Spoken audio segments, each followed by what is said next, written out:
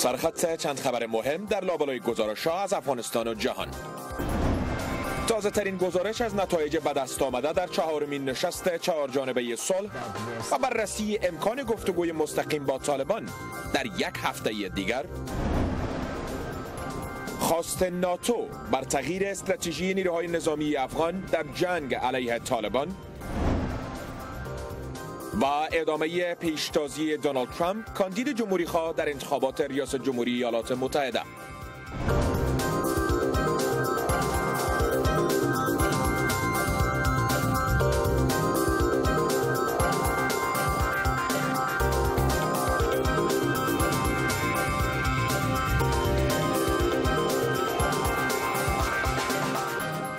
سلام.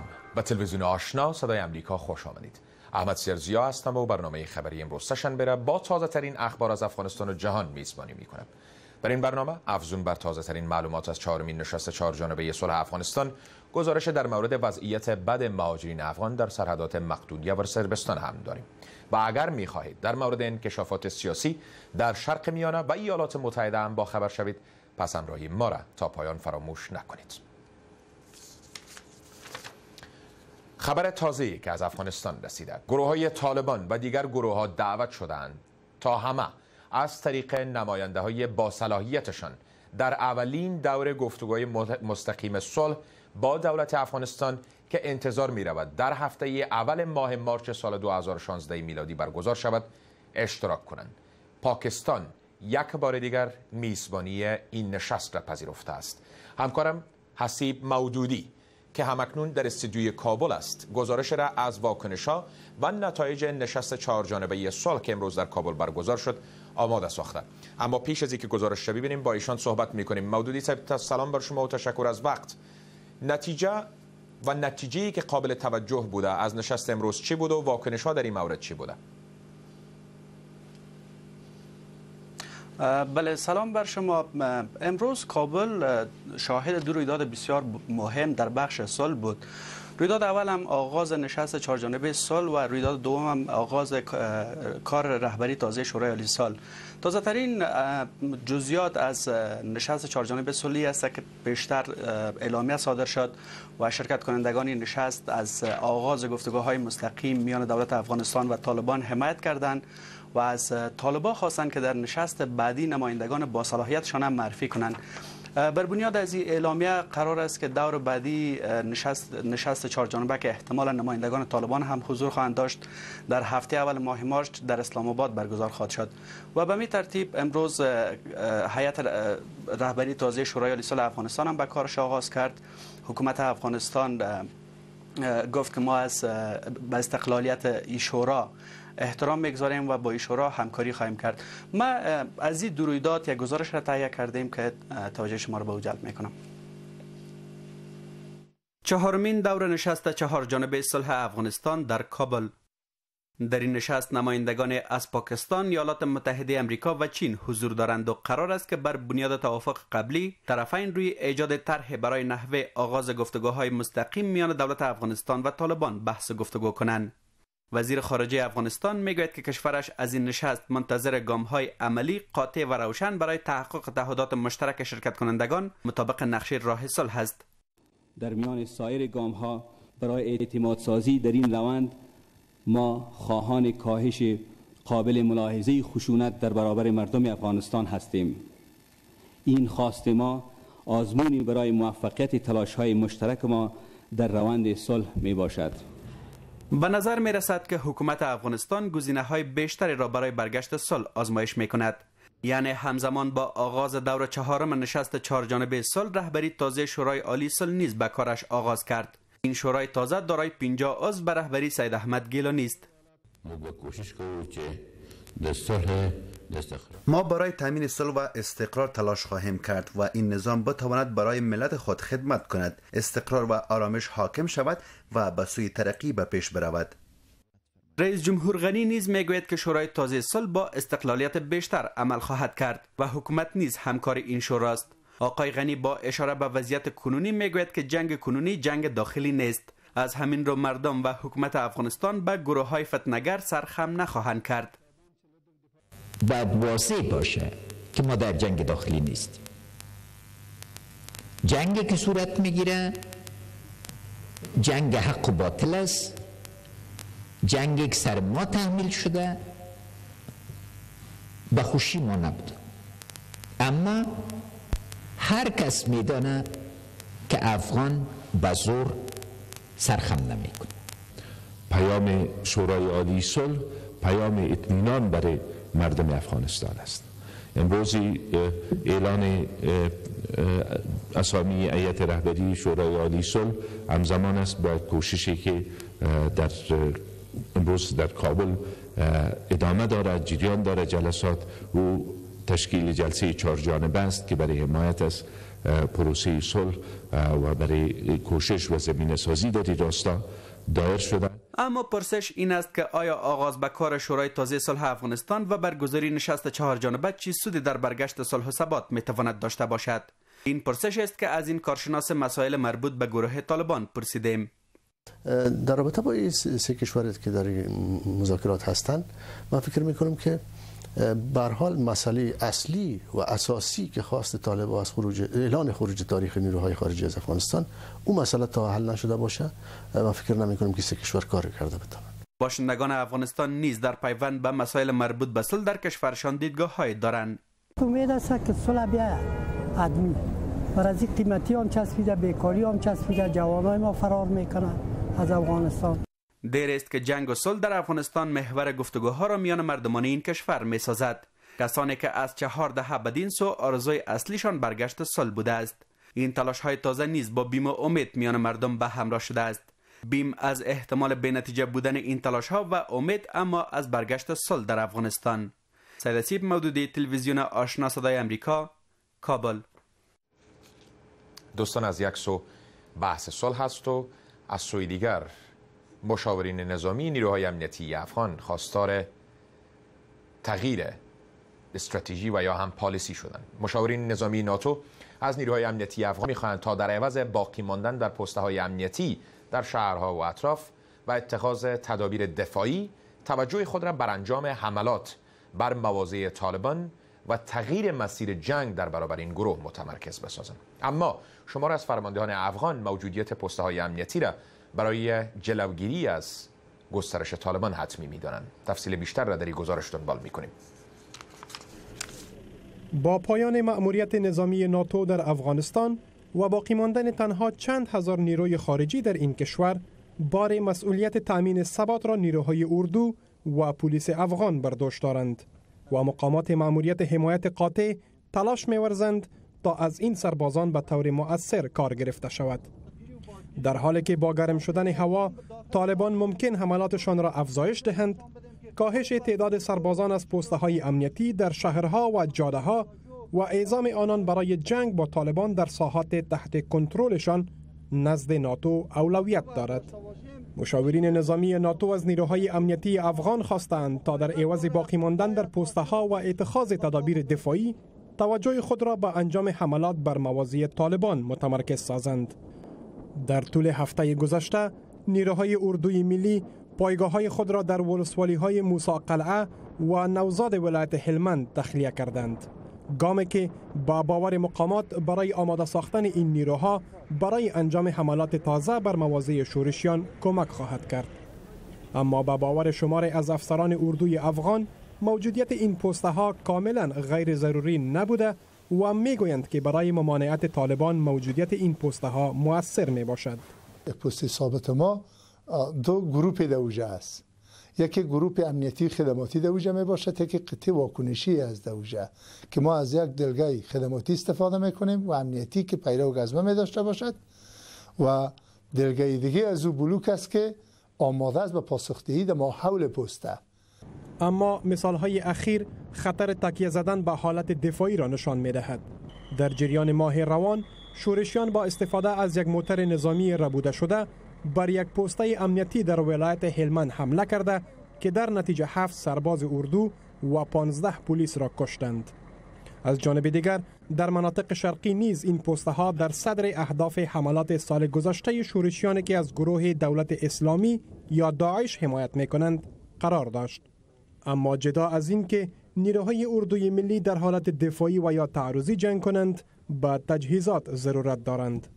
ما می پیشنهاد داریم با کلانای ما که اجرات بکنه و اجرات جدی بکنه به نیروهای افغانستان به خاطر از اینکه نو جور شدگی است باید قوی و قوی تر شوه. هر چقدر که بشوه اکمالات تدیر شوه و تجهیزات ما مجهز شوه. ان ما می‌تونیم از وطن خود دفاع بکنیم.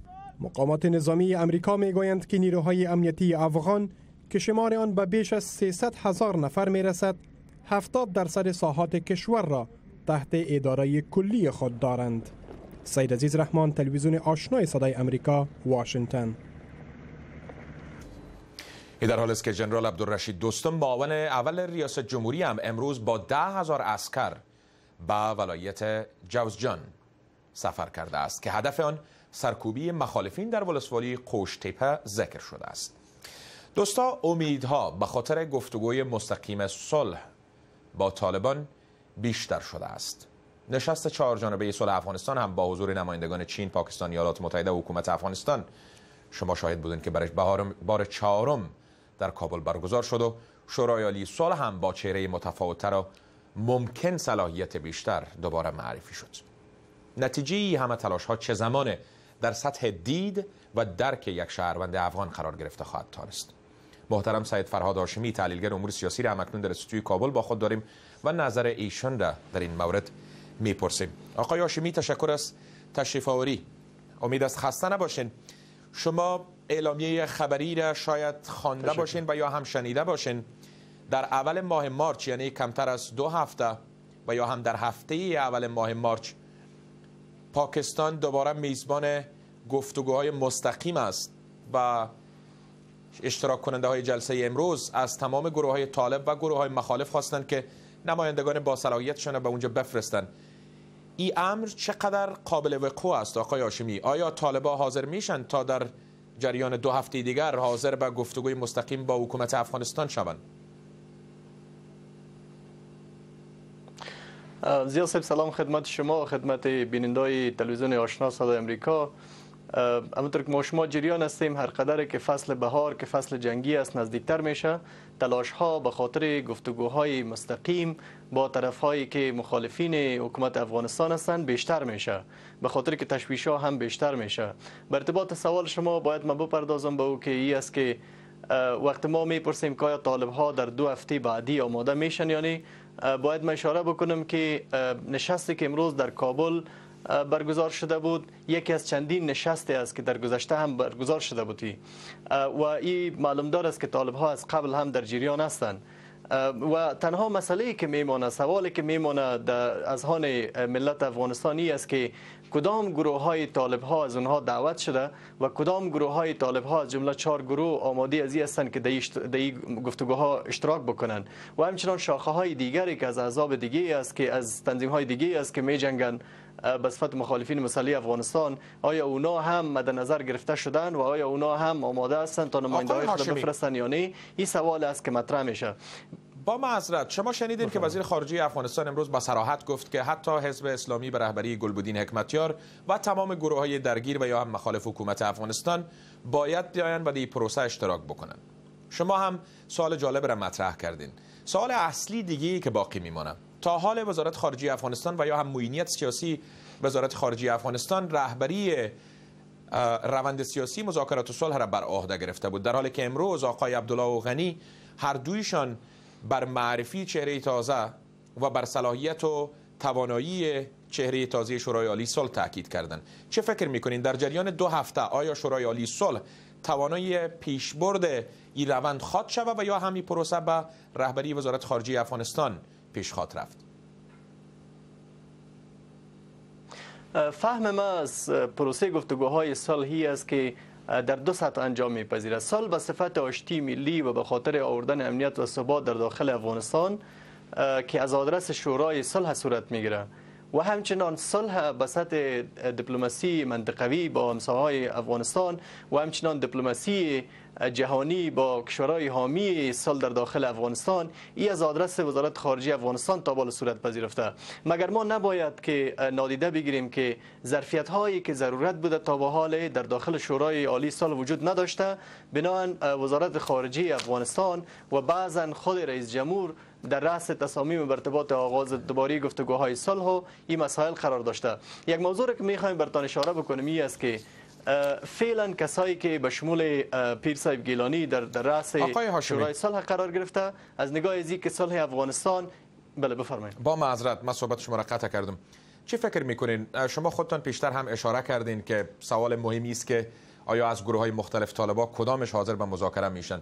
چقدر واقعی بینانه است؟ در دو هفته دیگه فکر می‌کنین که امکان برای کدام طالبا بیشتر است؟ بر کدام گروه طالبا بیشتر است تا در مذاکرات مستقیم اشتراک بکنن. فکر می‌کنین نمایندگان طالبان در قطر کسانی باشند که حضور پیدا بکنن؟ ممکن در دور دوم گفتگوهای مستقیم با حکومت افغانستان در پاکستان؟ خب به لحاظ از که دفتر طالب ها در قطر یک دفتر نمایندگی سیاسیشان است شک نیست که از این دفتر نماینده ها اشتراک بکنه. مگر که از از دیگه جهت های طالبا دیگه گروه های طالبا کیا اشتراک می‌کنه؟ من فکر می‌کنم طالب هایی که فعلا در پاکستان هستند و پاکستان زیاد تلاش داره به خاطر سهم شدن از اینا در داخل اقتدار در حکومت اینا زیادتر سهم فعال خواد داشتن. مگر سوالی که مطرح میشه آیا کسایی که در داخل افغانستان می جنگن و مستقلانه از پاکستان تقریبا عمل می‌کنن خصوصا کسایی که طرفدار مولا رسول هستند آیا اینا هم آماده از این هستند که برن پاکستان و مذاکرات در اونجا ادامه بدن. این یک سوال است که بعدا ادامه مذاکرات باید تیر جواب بگوید. که من زیاد در قسمت از این مثبت فکر نمی کنم. یک چیز پیش بینی میشه. آقای هاشمی تشکر از شما. فقط یک موضوع کوتاه. بفرمایید. بله شکر. موضوع کوتاه رو می‌خواستم میره بگویم که کسایی که فعلا در شورای صلح آمده به شمول پیر صاحب که در یک شخصیت معتدل تقریبا مذهبی است اینا از نگاه از که به صفت یک ظرفیت مردمی شاید که موثرتر عمل بکنن مگر تشویش هایی که زیاتر امروز ما در رسانه ها هم شنیدم ای است که صلح یک بود دیپلماسی هم داره و کسایی که تا فعلا جدیدا معرفی شدن در شورای صلح اینا مواد مدیریتی و دیپلماسی که ضرورت است امو شاخصه ها را ندارن و مردمی سوالایی است که پیش شهروندای افغانستان باقی مانده در قسمت از اینا. تشکر آقای شمی نظر شما را گرفتیم. امید است بقیه روستان خوش باشه شکر. پس از اعتراضات شدید شماره از پناهجویان افغان در برابر اقدام اخیر مقدونیا در مزدود ساختن مرزش برای آنان پلیس یونان انتقال صدها پناهجوی افغان را از مرز مقدونیا به یک کمپ مربوط نظامیان آغاز کرده است مقدونیا سرحدش را با یونان تنها برای پناهجویان افغان بسته است و اتباع سایر کشورها هنوز اجازه ورود به اروپا از راه یونان را دارند پلیس یونان صدها مهاجر افغان را اوایل صبح امروز سه شنبه به وقت محل سوار بس ها نموده و به صوب آتن مرکز یونان به یک کمپ نظامی فرستاد. از زمان وضع محدودیت های شدید از سوی مقدونیه بر مهاجرین هزاران مهاجر در کمپ ایدومینی جابجا شدند. یگانه چیزی که ما می خواهیم رفتن به پیش است. اگر ما با آتن برگردیم چه کرده می توانیم پول نداریم نان خوردن نداریم. کجا برویم؟ دوباره به افغانستان رفتن نمی توانیم و اگر برویم کشته می شویم با گفته مقام های مقدونیه تنها به شهروندان عراق و سوریه اجازه ورود به آن کشور داده می شود. در کابل سید حسین عالمی بلخی وزیر مهاجرین و عودت کنندگان افغانستان به رادیو آزادی گفت این یک نوع تبعیض است و انتظار نمی رود در کشورهای اروپایی میان انسانها تفاوت و تبعیض قائل شوند. البته معلومات را که ما گرفتیم معلومات ابتدایی است. برای همکاران وظیفه داده ام تا در این مورد تحقیق کنند. آنان در حال حاضر مشغول تحقیقاتشان هستند. به روز دوشنبه تقریبا 1200 تن از اتباع عراق و سوریه با 400 افغان برای عبور از موانع در سرحد یونان مقدونیه منتظر بودند و دست به اعتصاب غذایی زده خواستار باز کردن سرحد شدند. یک گروه کوچک از موانع عبور کرده و بر راه آهن بین المللی آتن بلگراد پراگنده شدند. ما چه باید کنیم؟ اگر این سرحد مسدود است باید بگویند و باید اول آنان سرحد ترکیه و ایران را مسدود کنند که مردم به یونان نیایند. چرا سرحد ترکیه را بسته نمی کنند با امروز سهشنبه پلیس یونان مهاجرینی را که فاقد شرایط تعیین شده از سوی مقدونیه بودند جمع کرده و با آتن فرستاد. ما افغان هستیم و هر کسی که در اینجاست از افغانستان است که به غذا نیاز ندارد. ما فقط می خواهیم که از سرحد عبور کنیم. اتریش کشورهای بالکان را فردا چهارشنبه برای یک نشست روی بحران مهاجرین دعوت کرده است قرار است به روز پنجشنبه نیز وزرای داخله کشورهای اتحادیه اروپا در مورد بحران مهاجرین ملاقات کنند در جریان سال 2015 میلادی بیش از یک میلیون پناهجوی افغان، عراقی، سوری و شماری از کشورهای افریقایی خود را با پذیرش صدها مشقت به اروپا رساندند. از آغاز سال 2016 که کمتر از دو ماه از آن گذشته تا حال حدود 100 هزار پناهجو از راه ترکیه و یونان و سپس مقدونیه و سربیا وارد اروپا شدند. برشنا و مرخیل تلویزیون آشنای صدای امریکا واشنگتن در این حال سفارت فنلند در کابل با نشر یک اعلامیه گفته است که این کشور قصد دارد تا آن عده از پناهجویان افغان را که واجد شرایط کسب پناهندگی نیستند از فنلند خارج کند. معاون وزیر خارجه فنلند هم برای صحبت روی همین موضوع برای سروس به کابل سفر کرده بود. در فیسبوک تلویزیون آشنا صدای امریکا هم امروز از همه دوستان پرسیده بودیم که چرا افغان ها با پذیرش همه خطرها هنوز هم حاضر به مهاجرت های غیر قانونی و اروپا هستند. احمدالله نجاتی از کابل نوشته است. به نظرم علت آن را در بیکاری نمی بینم کسانی که اروپا می روند آنجا هم رئیس مقرر نمی شوند دلیل اصلی آن ظلم طالبان است و خودم از این حالت به تنگ آمدیم. آمد بشرمل از مزار شریف نوشته است. مردم از شرایط بد زندگی و آینده نامعلوم مجبور به ترک خانه و زندگیشان می شوند اگر رسانه ها از شرایط اجتماعی مناسب پیام رسانی کنند مهاجرت های غیر قانونی کاهش می یابد از سایر دوستانی که در صفحات فیسبوک ما به این سوال ما پاسخ دهند سپاس گذاریم شما نیز می توانید نظریاتتان را در مورد پست های این صفحه با ما و دوستانتان شریک بسازید.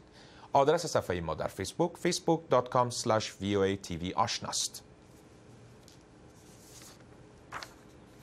از جانب دیگر تولید کنندگان میوه خشک در افغانستان در نمایشگاه جهانی غذای دبی در سال گذشته توانسته بودند بیش از 10 میلیون دلار فروشات داشته باشند اما امسال به دلیل به نیاوردن ویزه دبی برخی از تجارت پیشگان افغان نتوانستند در این نمایشگاه شرکت کنند.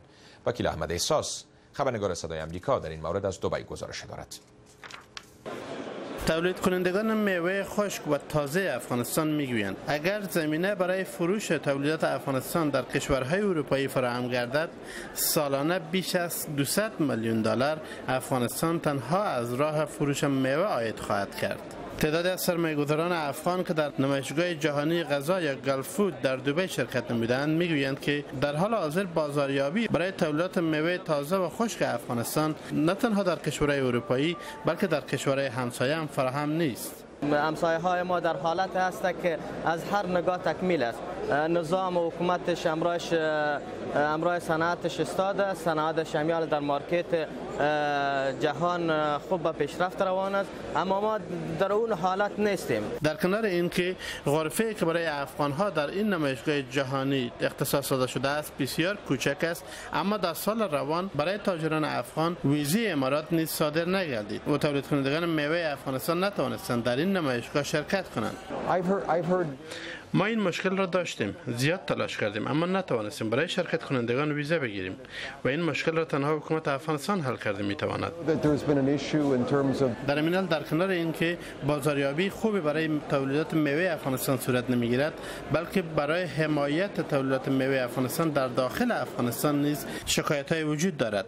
تعدادی از تولید کنندگان زعفران می‌گویند تا هنوز دولت افغانستان نتوانسته است. برای زعفران تولید شده افغانستان که بهترین زعفران دنیا معرفی معرفی شده است. certificate تهیه نماید. مشکلی که داریم ما به افغانستان مشکل یک certificate است که ما هنوز نداریم به افغانستان. نتونستیم برای زعفران افغانستان بگیریم که نیاز به کمک حکومت داره دولت افغانستان حکومت بعد همین دیغانا زارین و شرکت ها کمک کنه که بتونم یک سرتیفیکیت برای دفن افغانستان بگیرن در حال حاضر در کنار شرکت نکردن افغان ها در نمایشگاه های بین المللی نمایشگاه دبی هم نیز برای افغان ها به دلیل ندادن ویزا مسدود گردیده است. اینکه دولت افغانستان در این راستا چی اقدامی خواهد کرد تا هنوز واضح نیست. وکیل اساس صدای امریکا دبی.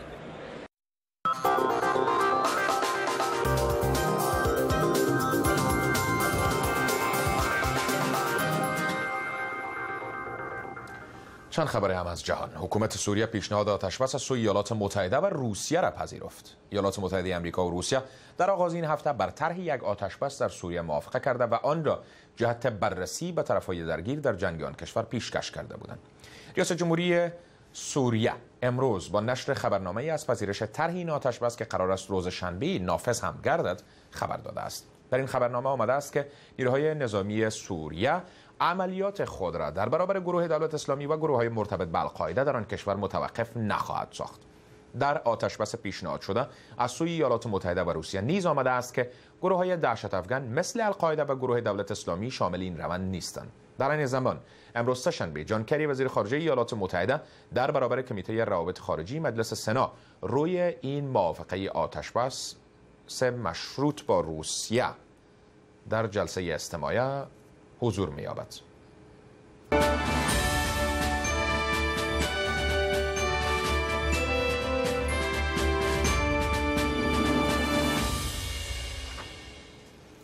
دونالد ترامپ کاندید جمهوری خواه در انتخابات ریاست جمهوری ایالات متحده آمریکا امیدوار است که امروز هم برنده caucus یا جلسات حزبی در ایالت نوادا باشد.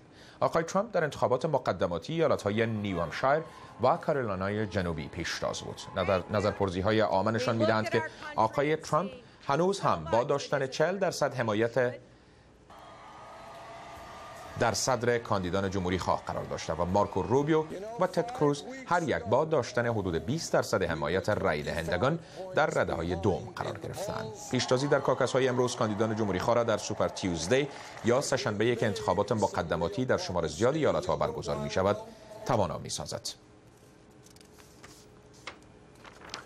انتقاد بر نامزدان ریاست جمهوری ایالات متحده با ترسیم کاریکاتورها کار هنری محسوب می گردد. در واشنگتن این هفته بیش از 100 کاریکاتور سیاسی از هفت کاریکاتوریست امریکایی به نمایش گذاشته شد. محمد احمدی که در مراسم افتتاحیه این نمایشگاه شرکت کرده بود گزارش تهیه کرده از مؤثریت پیام کاریکاتور در انتقاد سیاسی که با هم می‌بینیم فصل مبارزات انتخابات ریاست جمهوری ایالات متحده امریکاست. اعلام اجنده های نامزدان و تشویق طرفدارانشان. اما انتقادات روی دیگر سکه مبارزات انتخاباتی است. کاریکاتور یکی از راه های انتقاد در امریکاست. شیوه مؤثر در انتقال پیام منتقدین در خلال گرماگرمی مبارزات انتخاباتی امریکا حالا بیش از 100 کاریکاتور سیاسی از هفت کاریکاتوریست امریکایی در نمایشگاهی سه روزه تحت نام راه به سوی قصر سفید 2016 این هفته در واشنگتن به نمایش گذاشته شد.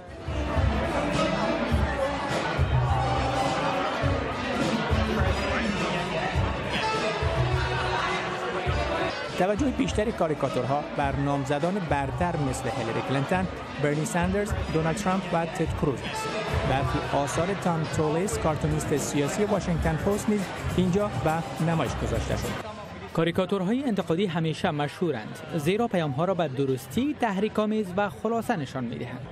دهاتن در شب افتتاح این نمایشگاه از این کاریکاتورها دیدن کردند. من این کارتون را دوست دارم. چون این نامزد به نظرم ویژگی خاص نسبت به دیگر نامزدان ریاست جمهوری دارد. او اعتبار خوبه در مورد نابرابری زن و مرد دارد که در این کارتون به نمایش گذاشته شده است. برای امریکایان این کارتون های سیاسی شیوه هنری مؤثری در رساندن پیام انتقادیشان است. در این تصویر دونالد ترامپ نامزد پیشتاز حزب جمهوری خواست و این کاریکاتور نشان می‌دهد که بسیاری از رقبایش می‌خواهند مثل او باشند. این کاریکاتورها در ششمین نمایشگاه سالانه کارتون های سیاسی توسط شرکت هنری آرت سویری برگزار شد. محمد احمدی تلویزیون آشنا صدای امریکا واشنگتن.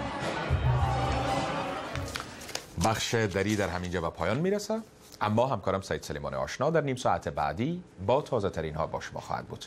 تا برنامه دیگر خدا نگهدار شما تیم آشنا صدای امریکا هر روز را با یک مرام آغاز می کند په ټولو چارو کې د امریکا غږ د ارزښتونو غوړوالی ارائه اخبار موثق معتبر و جامع. چارواکو او کارپوهانو ته بې ساري لاسرسي لري. هر روز از رادیو تلویزیون